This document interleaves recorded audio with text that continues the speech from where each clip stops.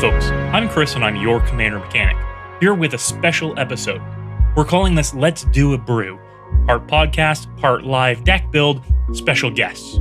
This week, we've got Dylan and Cam from Play to Win. And welcome to Dylan and Cam from Play to Win. Guys, thank you for joining us today. Thank you for having us. Yeah, great to be here. Uh, amazing, amazing. So, for anybody that's not aware of Play to Win and Dylan and Cam and the great stuff that they do, uh, they do a CEDH gameplay channel. Guys, why don't you tell us a little bit about Play to Win? Sure. Yeah, we run a CEDH uh, gameplay channel. Normally, we try to find what the best something is in CEDH. So, a lot of our themes in the past, we have theme games. What's the best three color deck? What's the best creature deck in CEDH? Um, so we try to do that. We like to have fun when we're playing CDH. We're not super cutthroat. We're not super, you know, trying to, you know, we're just we're trying to play the best cards and have a good time. So Fantastic. And that's why people love your channel as well. You get the real camaraderie feeling about sitting around a table because uh, yeah. you guys uh, you guys have played together a lot. How long have you been playing together? You know, surprisingly not as long as you might think. yeah. Although we may have the rapport of a team that's been together for 15 years, we've been friends for actually like a year, a year at this Around point. A year, oh. yeah, I think, yeah, yeah. So weirdly enough, um, so we got met, we got introduced through our girlfriends, and we both found out that we both played Magic. Um, and I was actually just looking for more people to play CDH with. I actually couldn't find like a local group to play with. Right. I was a modern player at yeah. the time, actually. Ah. Um, and I, I was just, I had just been like looking through the internet for CDH stuff for years at that point. Um, and I just needed to find an actual group. So I figured if I could convince my friends to start a YouTube channel with me and give them an excuse like we have to play. I need a video for the channel. then I would get to play CDH. Um, so it has kind of evolved that from a reason for me to play to now we have a channel. But it turns out it's grown to become my favorite format at this point too. I, have always loved the more competitive side of modern. I used to like going to some of the more local Grand Prix if I could and play in them. Um, but I also was a big fan of like the vintage cube and doing some broken things. Oh, yeah. And having a competitive format that allows me to be as broken as possible really is my favorite outlet of yeah. the game so far. Absolutely, absolutely. And, and you've touched on why CEDH is a big thing for a lot of people, right? It's much easier to find somebody willing to play CEDH than it is to find somebody willing to play vintage out in the wild, right? Oh, 100%. Yeah. yeah. The deck of decks availability, only having to buy one of each busted expensive card yeah. instead of four of them is also a lot easier too. Yeah. Absolutely. Yeah, a lot of upside. Fantastic, fantastic. And, and I know that Dylan, your roommates typically play with you in your videos as well, right? Yep, yeah. My roommate Tyler and Brandon, uh, and then we also have a buddy Nate who comes over. Now that um COVID, we're in the yellow zone, so we can have him come over again. But yeah, the, yeah, my roommates play Magic with us too. Uh, fantastic. And, and, did you rope them into this the same way that you rope Cam into this? Absolutely, yeah. Um, Tyler was our resident casual player. We I had been playing EDH with him for a while, but he was very against combos and very against the CEDH. Uh, and then eventually, I, I, lured him over to the dark side. Um, and then my other roommate Brandon managed uh, a local card shop, and he had played Magic in a billion different different formats, but was never really all in on CEDH. Um, and since we started, I think he's he's liked it a lot. Right on, right on. Uh, yeah, and EDH and CEDH is one of those things that when you get into it, when it gets its hooks into you, you don't want to go back as well. Like it's right. it's tough playing casual Magic after you've been playing competitive for a 100% while. 100% agree. Right? yeah. 100%. Yeah. It's a completely different feel. It's uh I hate to say it, but it feels a little bit more like a chore at some point. with the CDH decks, we at least we know there's a win condition coming. Sometimes with the casual decks, like, okay, we're just gonna attack each other with 12-12 until we're dead. I gotta get to bed at some point. yeah. yeah, exactly, exactly. Now, with with that being said, I know that you guys have had some marathon CDH games as well. Yeah, that's true too. yeah, um, the format can get pretty grindy. Yeah, I, I, think the the misconception is because it's a turn four format, people think that it always ends on turn four, or because it's a turn three format, or however you want to characterize it. And really, what that means is it just has the opportunity to end then. But if it doesn't end then, we've had games go past turn ten just unable to find a win condition. If everyone's playing grindy blue decks, sometimes it's difficult to resolve anything. So you're just grinding it out. Right, right. And with the CEDH meta changing with the flash ban as well, we're seeing a lot more creature based decks come out. Is that what you're seeing as well? Yeah, I think I think so. Definitely, one hundred percent. We've noticed yeah. swords to plowshare become a lot more popular. For a while, swords was not really necessary, but now if I'm playing a white deck in CDH, I think I'm playing swords uh, yeah, like I'm definitely playing swords. Yeah. Um, Seedborn Muse is very powerful, and Thrasios decks are now coming with a package of creatures that are just value engines that need to get off the board. You're also finding that a lot of the combo packages now just have a creature involved with them in some sort of fashion. Right. I mean, you still see, you know, Fish and Demonic Consultation come out. You can't really do Swords to Plowshare there, but there's a lot of other scenarios with um, different combo packages that having that instant speed, one mana removal spell um, that will exile a creature is still going to be uh, very helpful and prominent to disrupt those combos. Yeah, and one kind of strange thing that I've noticed is what's I've seen a lot of combos shifting to um, more creature-based combos. So like comboing with Dockside Extortionist and Temur Sabertooth. Sabertooth. Yeah. Or I think the card is Sigil Tracer is the Merfolk that you can tap one. I think that Sigil Tracer with um, Dramatic Reversal. Yep. So you're playing these creature combos to avoid um, being able to be stopped by like Flusterstorm And and negate. and negate and Yeah. things like that. But then at the same time, you're then weak to Swords to Plowshare. So it's a little circle that kind of goes around and around. Right. It's the rock, paper, scissors of Exactly. any meta. Any format is going to get into that situation, right? Which is good that now that Flash is gone, we actually have rock, paper, scissors rather than just flash, flash, flash. Yeah. It's nice. And and that's one of the things that I've noticed as well. I, you know, I I play CDH quite a bit too, and I've noticed that with the flash ban, win cons have gone from winning at instant speed to relying on sorcery speed win cons and relying on creatures more often. And grinding out straight value out of decks is more important now than rushing a win more often than not. Definitely. And I, I think it's also like uh, we've we everyone has talked about Flash ad nauseum at this point. But one of the main, I think, reasons why it is so nice to not have Flash is a lot of times you never saw the Flash win coming. They would just end of turn Mystical Tutor on their turn, you know, um Summoner's Pact. That's the green one. Yeah, On- Summoner's On Pact. their turn, Summoner's Pact for the Hulk, and then just like out of nowhere they have it. Whereas now you have like the Demonic Tutor on turn one, and then like two turns later, a Vampiric Tutor. So then you go, aha, that you know what I mean? Like Dylan's been Yeah. putting I- something I see together. it, over whereas here, the flash yeah. decks, like they just didn't give you any time to prepare. Right, right. And I've seen that in some of your recent gameplay as well, where somebody will tutor two or three times in consecutive turns. And you you'll come in with your commentary, okay, we know he's doing something. We know that he's got all of his combo pieces in hand at this point. Right. Right? It is tough to be conspicuous. At Yeah. that point. Right. and now you you mentioned a little bit when when talking about CEDH decks, uh, you mentioned packages.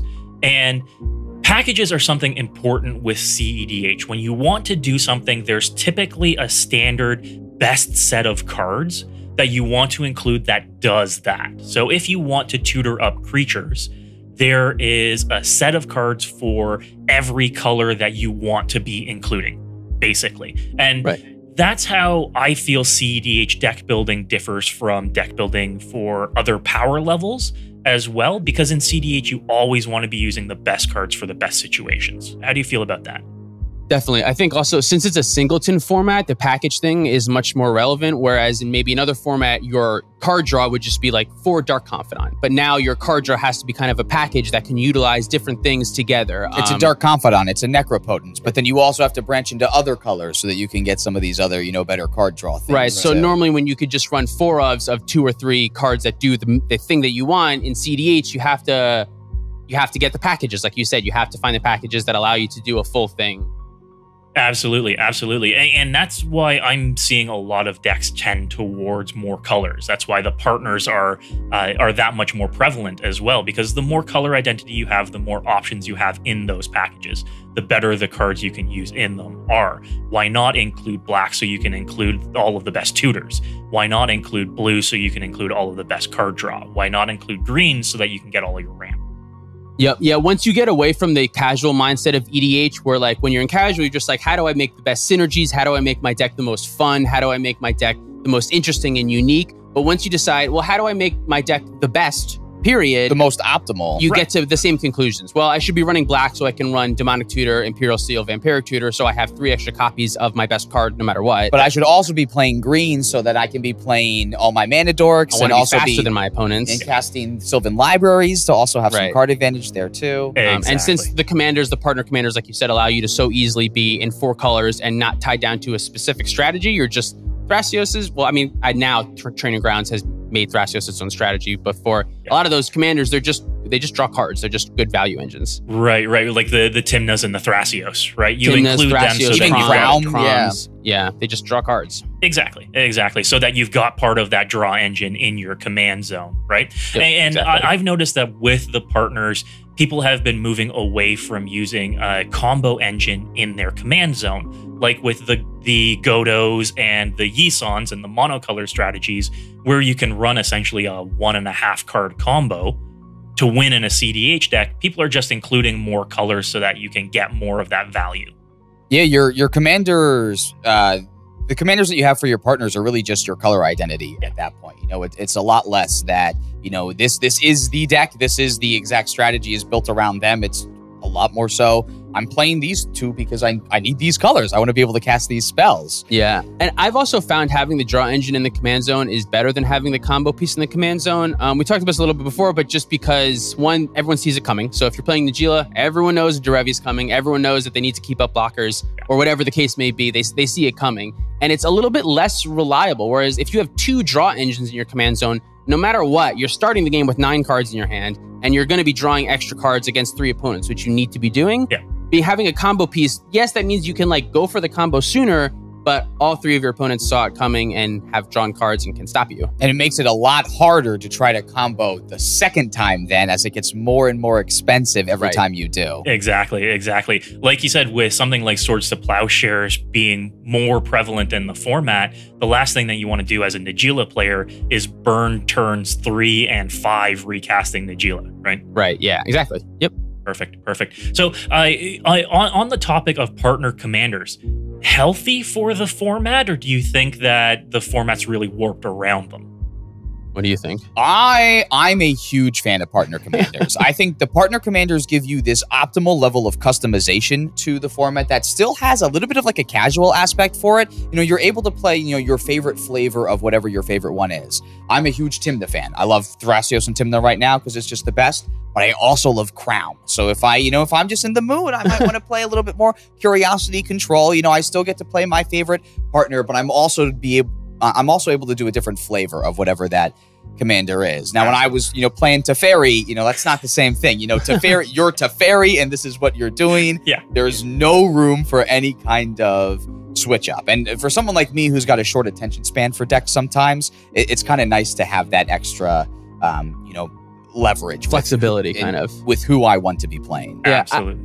I kind of mainly agree. I, I like the commanders because they're powerful and I like playing the powerful cards. And I like being able to kind of change my four color deck to have red or blue or white or black and just switch up my partner with Thrasios. It's fun for a competitive aspect of commander, but I also acknowledge that it's like pretty terrible for casual EDH. The fact that they're all just generically decent, you know what I mean? For Yeah. the most part, some of the Boros one and the and the blue black one are a little are have more specific, but a lot of them are just like good card draw engines, which is kind of boring for I, I will say that I think some of the more newer partners like that came out with partner I- with. Yeah, Yes. the partner with with Ikoria and even the battle bond. I, I kind of like that direction a little bit more for for Yeah. casual. Definitely. Um, yeah, I, that certainly don't think that we don't need any just partner commanders. We don't need any more of them. I think we have a good number of them. There's a Yeah. good number of flexibility.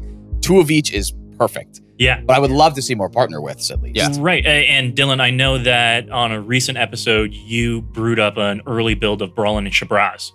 Yeah. Right. And Yeah, yeah, yeah. I think those commanders are great. I, I, I love the partner with ones. And uh, how did you find building that deck? Since I know that at the time it was just after Brallin and Shabraz were spoiled.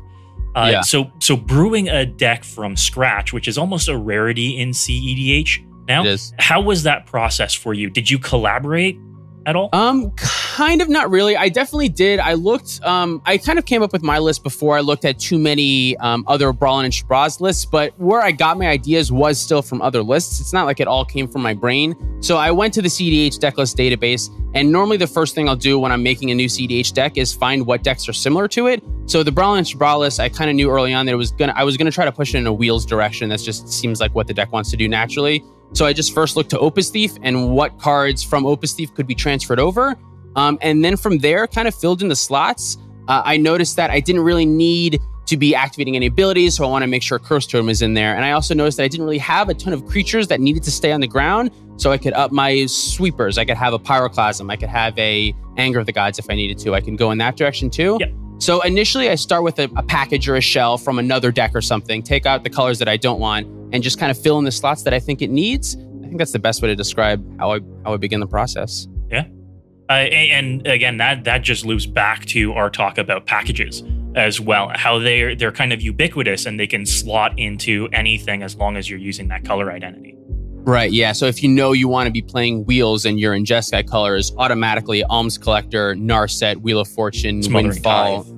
Yeah, Smothering Tithe. You have uh, Notion Thief. no- even. no, we're, Oh, not, we're in not in Jeskai. those We're not in colors. Jeskai, but it, Right. Notion Thief is in the wheel package. It's a You package just for remove it when you're not playing black or exactly, exactly, and that's how versatile it is. When you want to play with the best cards for the best situations and the best color identities, you just go and you pluck them out of some of those existing packages. Right? And again, customizable. You know, we're in Yeah. Jeskai. You know, I thought we're in Grixis for a second, but you know, we're in we're in Jeskai. You know, so we have some flexibility. Maybe I just color preferences. I want to play more white instead of black. You know, Right. maybe I, if I feeling something different the other way. You know, Yeah, absolutely. Um, and if you want to switch up the deck in between, you know, weeks, if you're, you know, playing uh playing with friends one week and then the same guys the next week, you can come and pivot that deck by removing, you know, a third of the cards, slotting in new ones, and you've got a brand new deck that feels different. Yeah, definitely. And with Brallin and Shabraz specifically, something that I never really considered until I saw everyone working on the primers is everyone also decided that this should be a Blood Moon deck. I didn't even really think about Brallin and Shabraz as being a Blood Moon deck, honestly. So that's something that you can like surprise your group with, like, haha, my three color deck, surprise, I have a Blood Moon. And then if you're in a CDH pod, that's probably going to shut everyone out if they weren't expecting that. Yeah, absolutely. Well, yeah, when you're running red and blue like that, you want the back to basics, you want the blood moons, especially when people are using the greedy four color, five color mana Absolutely. bases as well. Yeah, and I yeah, and I think it, it's important to notice t- and to acknowledge when you're building a deck that there are so many people that are so much smarter than you and are thinking about Magic more than you. Even if you are like me and you think about Magic 24 seven, there is someone who has thought about the deck that you want to build just as much. So use your resources, use the internet, find the packages, look at the CDH decklist database, find what other people are doing, and then also remember that they're people and then they make mistakes and they put bad cards in there too and make your own judgments. But I think it's net. There's too many cards. You don't know them all Exactly. find a resource. know? And that's why I, I like deck building as a collaborative exercise as well, because you get to pull on the experiences from other people. You get to talk to them about what's better in the meta, what's better uh, overall, and you get some ideas and cards that pop up that you haven't necessarily thought about or wouldn't necessarily think about. And here on Commander Mechanic, when we do our deck tune ups, of course, that's just me taking a look at somebody else's deck. Our comments are filled with people saying, What about this card? What about this card? Have you thought about this as well? And that's one of the best things about EDH2. Not only do you get to build your own deck and you get to make it feel and function the way that you want it as well, but it's a community exercise where you get to talk to other people and say, You know, I, I've run this deck and I felt like that card doesn't work in it. I've replaced it with this right? Or you know, uh, I've seen recent discussions lately about Asnod, uh, decks dropping things like Force of Will, just to bring the curve down that much shorter, right? Right. You know, yeah. that- there, that there have been a lot of very cheap counter spells that have been printed lately that are being much more considered now. Right. Basically the same like thing uh, like the Will, too. latest M21 uh, miscast, right? Right. It's the Yep. the negate force spike or uh, negate uh, spell pierce rather. Right. Yeah. Mhm. And uh, effectively, a lot of times it's just going to be a blue counter spell. You know, CH deck players can't keep up the three mana, um, and it's not going to nug you for five when you add Nas. So I, I, I definitely could see a, an argument for that. Right, exactly, exactly. And, and speaking of new M21 cards, that brings us to why we're here today. Is uh, you had mentioned on Twitter the new conspicuous Snoop card from M21. Uh, conspicuous Snoop is a 2 2 goblin for red red that reads play with the top card of your library revealed. Uh, you can cast goblin cards from the top card of your library, and as long as the top card of your library is a goblin, Conspicuous Snoop has all activated abilities of that card.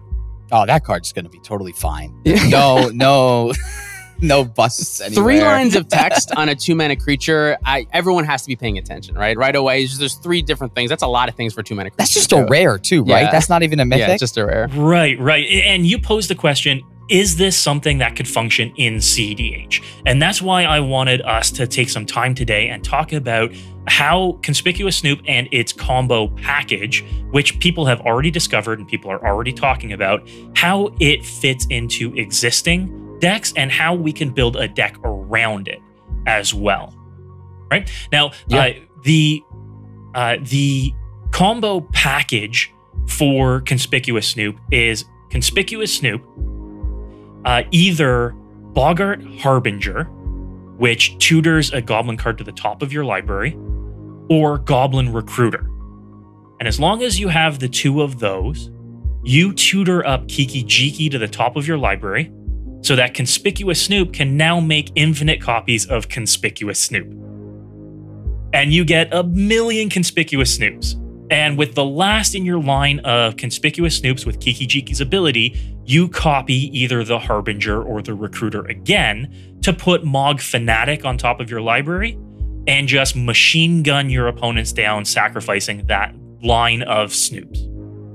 Right? So that's a nice, efficient combo package. That's a nice, efficient combo line. How does that compare to some combo lines in CDH as it is? Well, I think first thing, first thing to consider is how much mana it costs. So the first thing is the Goblin Snoop costs, Conspicuous Snoop costs two mana, and then you need two mana for the tutor, right? I think the Recruiter, three mana. Recruiter is two, one in a red, and Boggart Harbinger is three, two colorless and a black. Okay. So how much mana total is that? Let's five, six, seven mana total you have to spend? Uh, so it's four total if you go with Recruiter and Snoop. If, Okay. if you're Harbinger and Snoop, it's five total. Okay, so right there, four and five mana is the same. That's that's good, right? that's an ad nauseum yeah, right that- there. Yeah, yeah, four and five mana with two cards only. To me, that's right around the level. Normally, my like bare minimum for a CDH combo is it has to be less than six mana.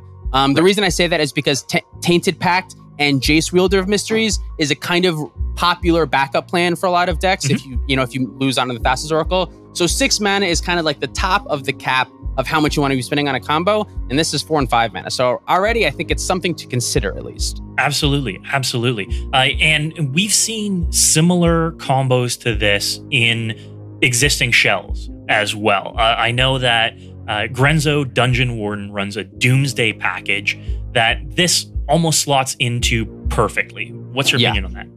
Definitely. I mean, basically, into the Grenzo deck, you just have to put Conspicuous Snoop in the deck, and then almost all of your combo pieces, like the deck was already running all of, a lot of the Goblin tutors and stuff. I think you probably have to add Boggart Harbinger, but Grenzo is also playing some already questionable cards that you could pretty easily swap out for that. Right. Um, I think Grenzo would be a great slot for this. In Grenzo, you already have, with Grenzo out, you can cast Doomsday and for two mana extra win the game. This gives you more options with Doomsday piles, although to be honest, I haven't thought about specifically what the Doomsday pile with Grenzo and Conspicuous Snoop would be. Right. But the fact that you have a backup plan with Conspicuous Snoop not needing Doomsday, that's pretty nice if someone takes your Doomsday. Because before Grenzo was really like you you cast Doomsday and that's really your That's your only deck. win condition. Yeah, I mean, right. thank God you're in black, right? You have Yeah. all the tutors. Right. Um, but this kind of adds like a whole new level that this deck can attack on. And um, I mean, it- it's kind of nice that you even have options for this this uh cons- this Snoop package and even mono red in a lot of times even. So there's even you know directions where maybe Godo could you know may- maybe that's not a great idea, but you know it's it's an option, But right? it's It might even yeah, open absolutely. like some other kind of um, you know, Pashalik Mon's desk. Yeah. I'm just throwing up like goblins off the top of my head at this point. But you know, there's a lot of cool other places that uh, a small package like this can even slot into. Right. It- it is a really efficient package and can be run in one color, two color, or more as well. Because if you're running Kiki Jiki, you can run additional Kiki Jiki lines as well. So if, if you're running this in a monocolored deck, then you've got the Snoop, Recruiter, uh, Kiki Jiki, and Fanatic. That's your package. That's that's your win package right there. If you're in black, you add redundancy because now you get to run Harbinger as well. Then, if you add more colors like blue or green, you can run additional options for Kiki Jiki to just win as well, right? You can run the Pestermites. You can run the uh, Hyrax Tower Scouts, which is the green creature that does the same thing That- Even that- White has Village Bell White, Ringer. and White even, has a too. couple as well. Yeah. Exactly, exactly. So now you get into more versatile packages and more versatile lines, as we were talking earlier for deck building. So uh, that that raises the question here: uh, Is this better to slot into an existing deck, or is this better to brew something around? Because I've seen really interesting lines as well using Hulk too, because this is a package that can be just tutored up with Hulk.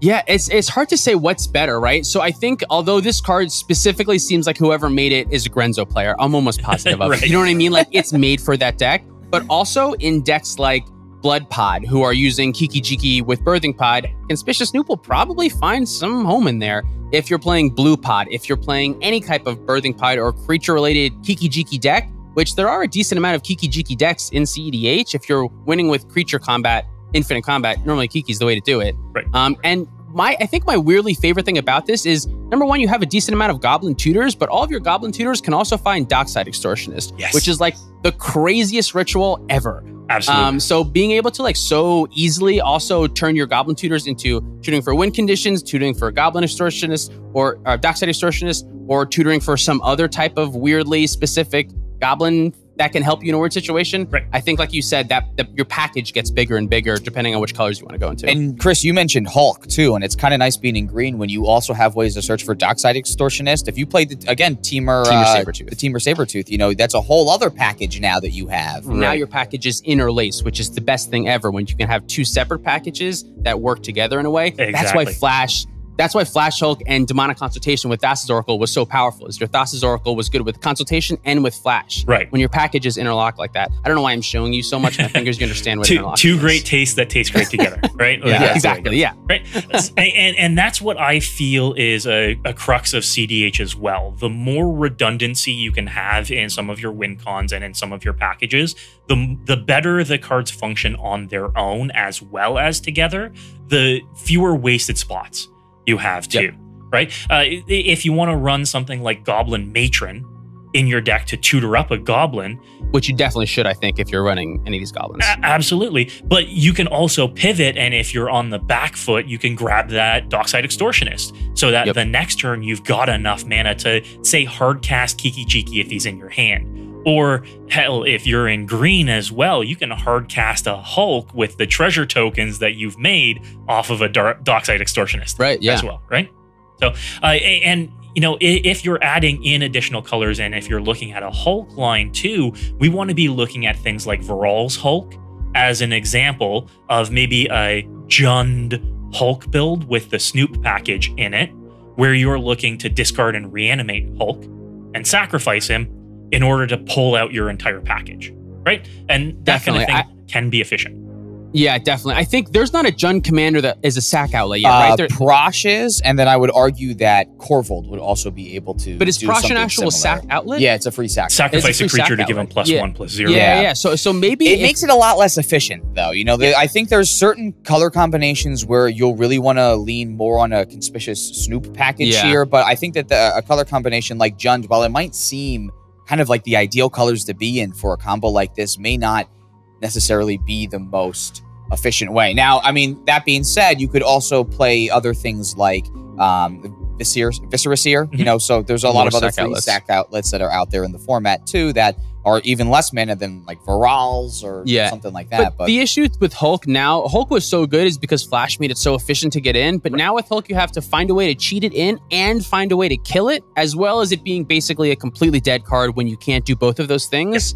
I don't know if I mean it's still a fun card to brew around for sure, but I don't know if it's it's where I would start with uh with the with the conspicuous snoop. Mhm. But I definitely it's it's it's in the realm of possibilities. There's a I lot think. of options that go along with it. Right, right. And, and speaking of options, uh, I, I agree that there's no really efficient Jund commander right now. Even the ones that we mentioned are six mana, right? Right. Uh, Yeah. well, and- Korvold I do think is is decent. It's five mana, but I understand what you're saying. There's no tier one clear Jund commander for sure. Right, right. If there were a Jund commander that were three mana, that was a value engine in the command zone as well, something that did something on draw, on attack, on sacrifice, something like that, then I would agree that that Jund would be much more efficient. So now let's bring up the opportunity here. We spoke about partner commanders earlier. what about something like a Vial Smasher Thrasios build where we go? Well, I'm even four thinking like Tymna Tana even too. Yeah, Tim Um, Natana. Yeah, I, I definitely like Blood Pod Tymna Tana with a creature based deck like this. But I'm not sure if that's the right way to go about it, to be honest. A lot of the times when I'm playing Thrasios decks, I want to be heavy on instants so that I can hold up like a counterspell, and then if not, activate Thrasios. But Thrasios is also just so generically good if you can find a way to make infinite mana in your four color deck. You have an outlet right there. right, right. Um, so I'm sure you could make an awesome deck with Thrasios and Vial Smasher with these colors. Um, but I would probably be more interested in starting with Tymna Tana, I think. Yeah. Um, You're already running Kiki Jiki in a lot of those decks Yeah. too. So like having even like a Goblin Sharpshooter combo uh, along with uh, hey, talk about other goblins that you can search up, right? Sharpshooter plus Splinter Twin is also sharpshooter. That's one that I love too because Sharpshooter is easy to tutor for because you have so many Goblin tutors if that's what you're going for. Mhm. It's a combo with Splinter Twin, and Sharpshooter is also just really good against other mana dorks. It's just like a good card on its own. Yeah, now that we've seen the meta shift more towards a board state and everybody running three, four, five dorks, uh, I mean, we've seen some of the gummed up board states that have, have happened in some of your games as well. Absolutely. Having a sharpshooter just be, be able to machine gun down your opponent's advantage on that one is uh, is key as well, crucial. Definitely. Yep. Yeah. So yeah, and like allowing your package to be expanded of now your goblin package includes maybe a goblin sharpshooter that can also be paired with a splinter twin. And since you're in splinter twin and Kiki Jiki, there are probably some cards that will combo with both of those things. So then you can loop together your packages again there, which that's something that I really like. Yeah, absolutely. And and that's all about the redundancy in here Right. too. Now you're seeing the the real synergies that are coming up when you look at these packages and when you're adding in colors as well, what you can do with them. Uh, and uh, if we're running something like a Tymna Tana on this, then at least Tymna is the draw engine in your command zone as well. And even if you draw two or three cards off of Tymna, that's the free card that you started the game with in your Right. hand. That's the and it's also and it's little things like like so conspicuous snoop is obviously we've talked about it. it's a combo piece it's only two mana it's good for many reasons but it also just says play with the top card of your library revealed you may cast a goblin for the top of your library. So even when it's not broken if you have like 10 goblins in your library every once in a while it's just going to draw you a card which is going to be fantastic. And if you're playing tymna knowing the top card of your library may be relevant. If you have a forest on top you're like I don't need to get Tymna out to jam to make sure I draw another card. That's just not really what I'm looking for right now. I can, you know, Vampiric Tutor instead or something. Right. But if you know, oh, there's a Curse Totem there on top of my library and there's a Thrasios over there, if I attack with my Tymna and get through, even if I, you know, waste a creature, I'm drawing that Curse Totem that I already have that information for and can cast. you it better not be playing Curse Totem in this deck. I guess you're not playing Curse Totem in this deck. That's maybe not a great example. Well, but- I can't believe we also haven't talked about how this thing can just attack with the Tymna out and draw you a card even. Right, Like, if- yeah. If, you just that's the thing. Like Conspicuous Snoop, you know, you it's a five mana combo altogether. You know, at the maximum, but you know, at the same time, you don't need to pay it all up front. You know, if you can just slam a turn two Snoop Yep. and start getting in there, you know, maybe it draws you a couple of cards.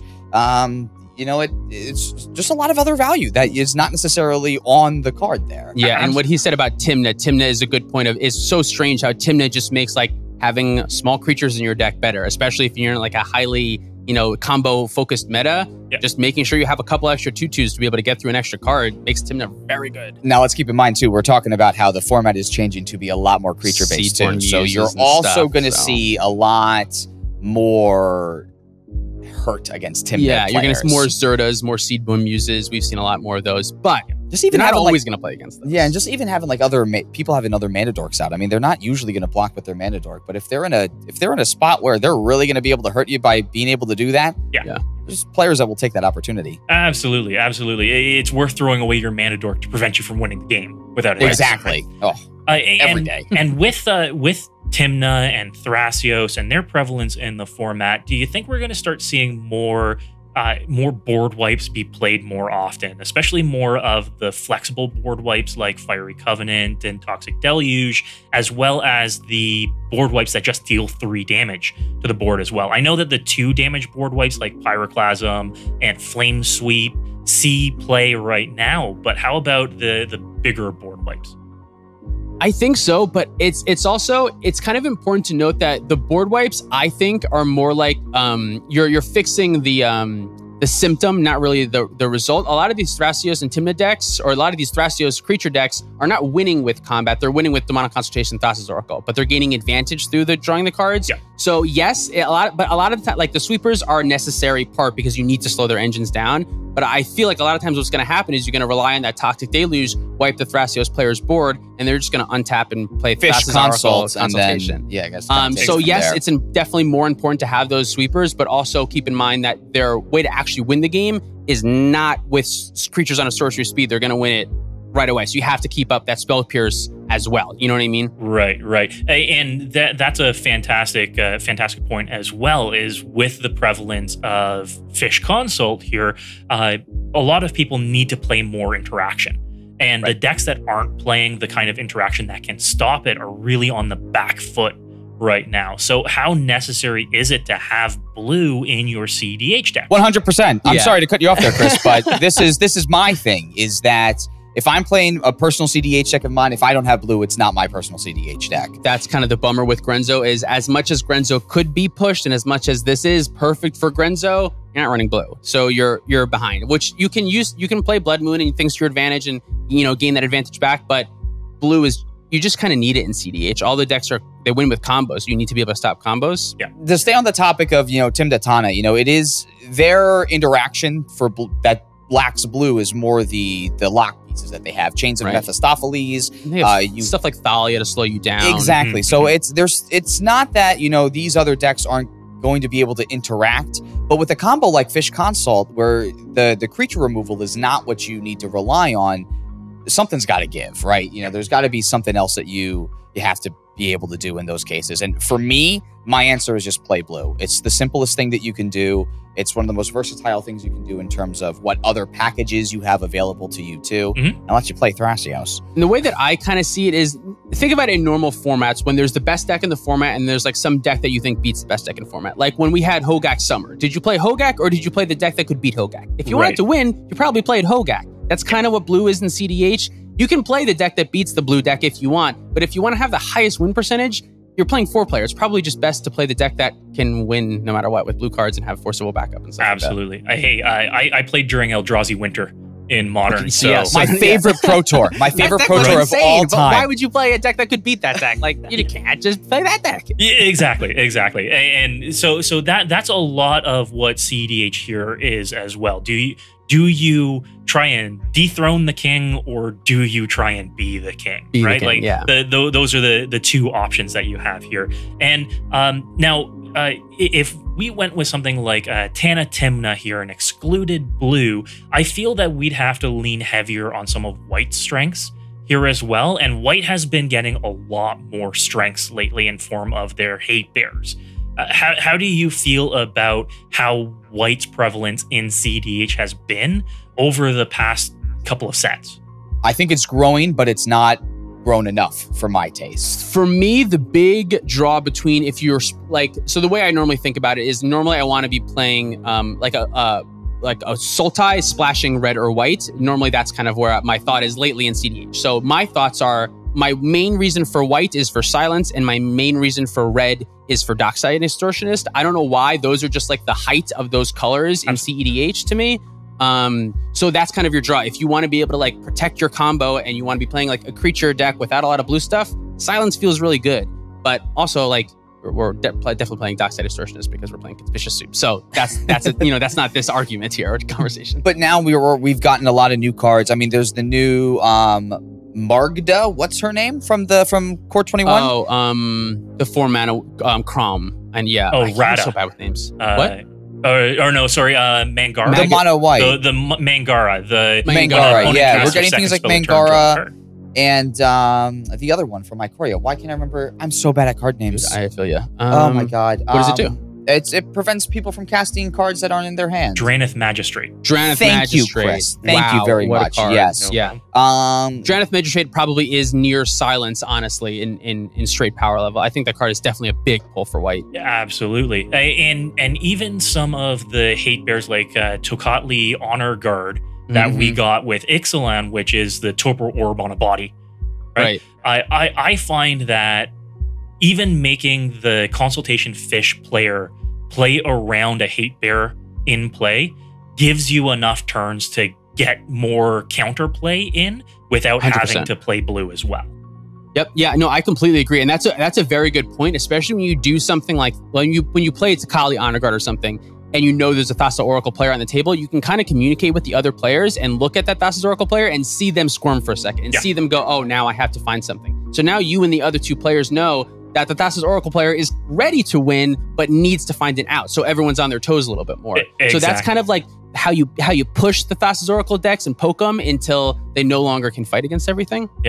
Uh, and that that's a fantastic point as well. You're sitting across from a player that you know is playing consultation fish. They've got three cards in hand and they're squirming, ready to get get going. And you drop a torpor orb or Right. uh, a Tocatli honor guard, and they're looking at fish, consultation, and a counterpiece, and now thinking, okay, now I've got to go find my chain of vapor in order to go off as well. And you've got two more turns with two other players at the table to try and set that player back even further. Right. And that's when you want to be very vocal and talk to the other players and say, look at this guy, he's been moving a little bit. This let's look at this girl, look at whoever, you know what I mean? Like they're they're like everyone keep your toes on. This is the player that can win right away. We should all be focusing and kind of shift where the, the blame is a little bit. Absolutely. And a lot of people that don't play CEDH feel like there's not a lot of room for the political aspect when it comes to CEDH. is. But you've brought up a fantastic point. That's exactly the kind of situation that does come up in CEDH,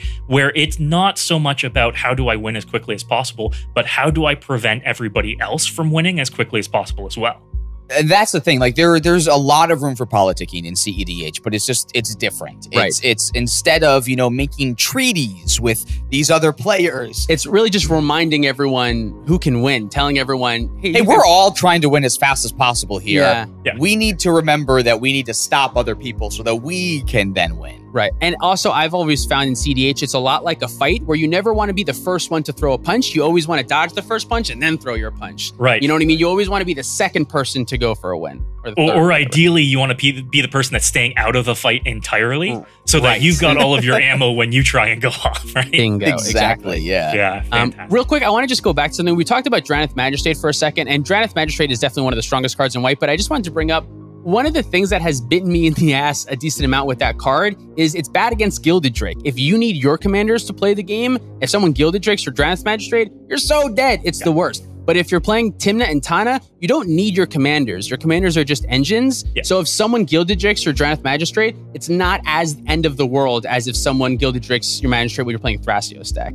So I think Drannith Magistrate in that style deck is is particularly good because that's just something that I've noticed. And even then, if you're giving a three power flyer to the Tim uh, to the Tim the deck, that's not the great spot that you want to be. Right. Yeah. Right, right. Now, uh, you you brought up Gilded Drake, which is uh, fantastic, and I don't want to get too MTG Finance into this as well, but we've been seeing a lot of CDH staples explode in price recently. Yeah. Uh, Gilded Drake being one of them that has near tripled in price over the past. What's it? four What's weeks. it at right now? I don't actually. I haven't looked. At I lately. just bought a Japanese one Oh, for no. ninety eight dollars, and it's only under three digits because it was Japanese. I'm like positive of that. Right, right. I, I think last I looked, which admittedly isn't recently, it was up over 140 at this point.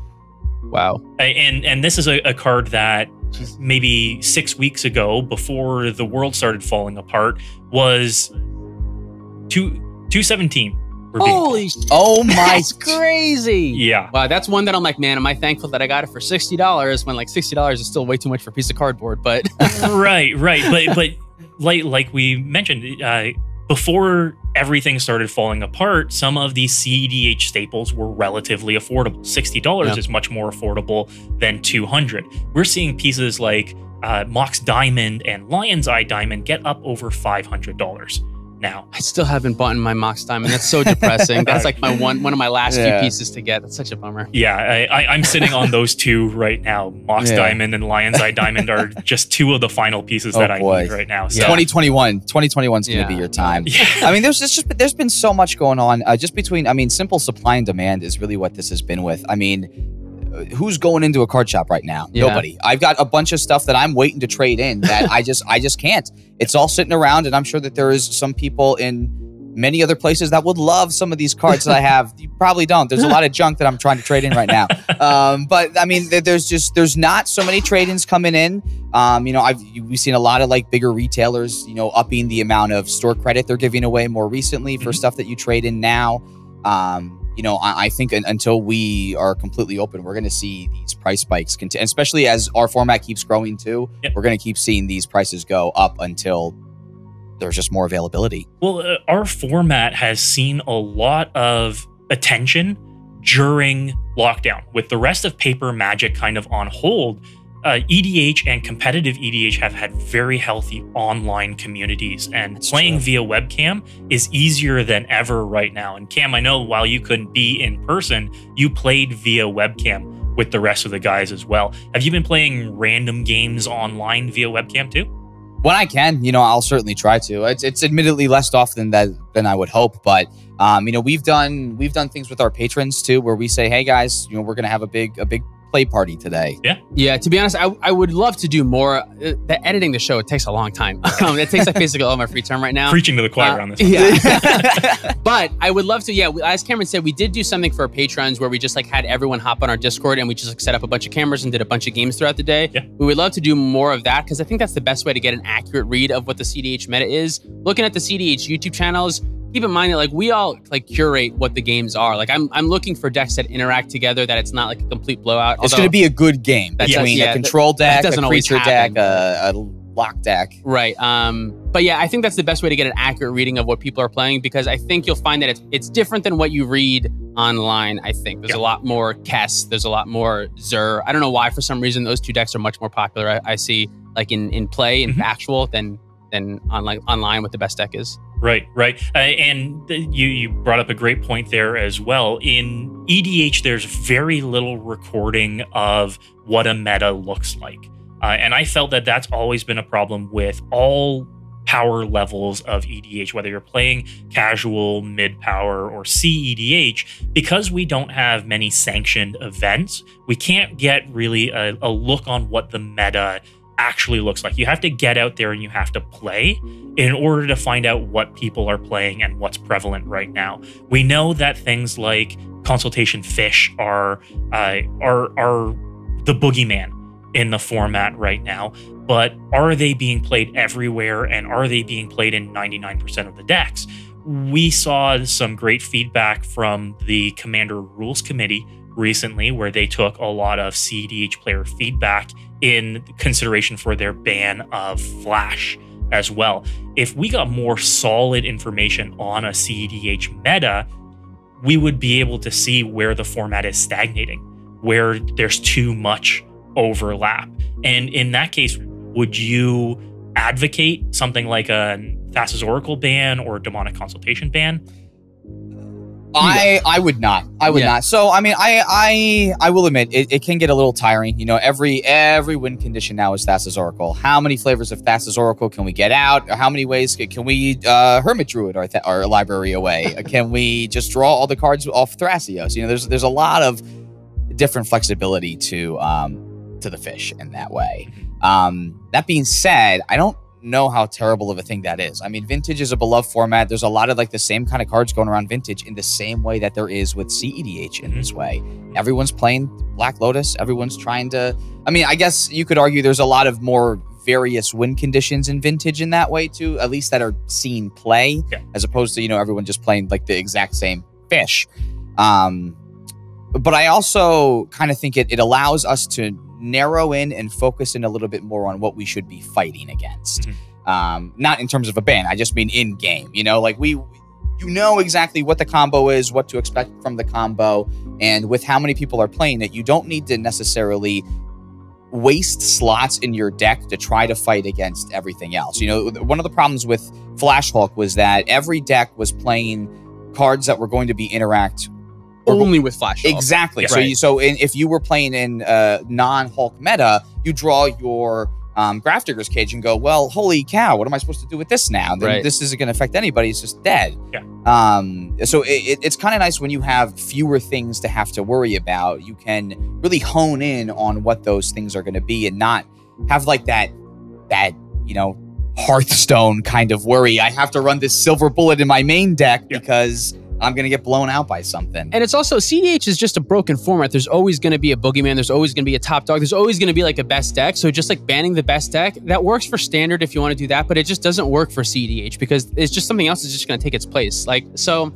I don't think it's a great idea to ban Thassa's Oracle, although many, many decks do win with Thassa's Oracle. How they get there is all different. They're not, you know what I mean? So it's they're also playing different. They're using different colors. They're also different decks. So all the games win with, you know, Thassa's Oracle, Demonic Consultation, but the process is so much different. That's the fun part about Magic. Yeah, and I, I find that CDH is a format that evolves regularly and evolves a lot faster than many other formats do because there are so many great minds out there thinking along those lines. If I need to beat what's best right now, how do I do it faster? How do I do it more efficiently? What's the next line to shut that down?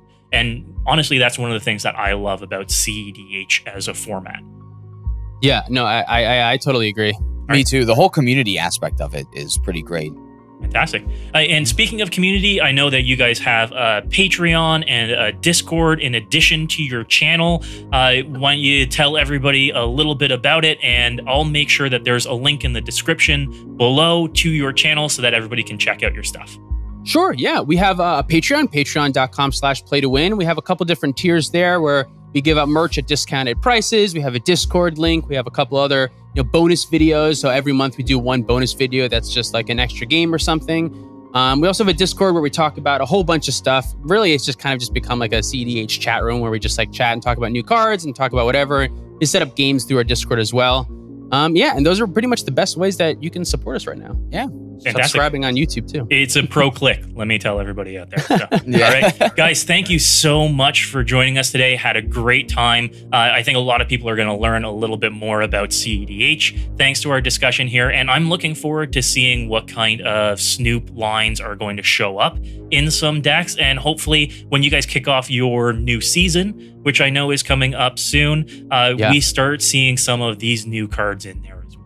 Definitely, we're looking for a conspicuous Snoop deck as as best we can. Whether that's um, whether that's Grenzo or whether that's Tymna Tana or whether that's some kind of blue pod deck, I think we're definitely find some homes for it. We're snooping around a couple Yeah. of different options right now. All right. And on that note, thank you very much, guys. Thanks everybody for the tuning in. Subscribe, like, and we'll have more of these coming up soon. Cam, Dylan, thank you very much. Thank you, Chris. You a salute? No finger gun? Oh, sh- that's your thing. I'm leaving that in. and here's the deck we ended up brewing.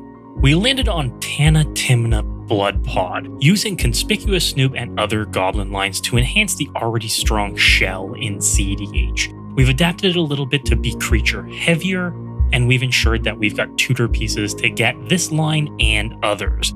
The more versatility, the better. As always, with these do a brew sessions, we like to end off every episode with a unique brew and a unique deck list. Check out the full link in the description below. If you want to see more guests on more podcasts like this on the channel, then subscribe and let me know in the comments below who you'd like to see next. Till next time, good luck and have fun.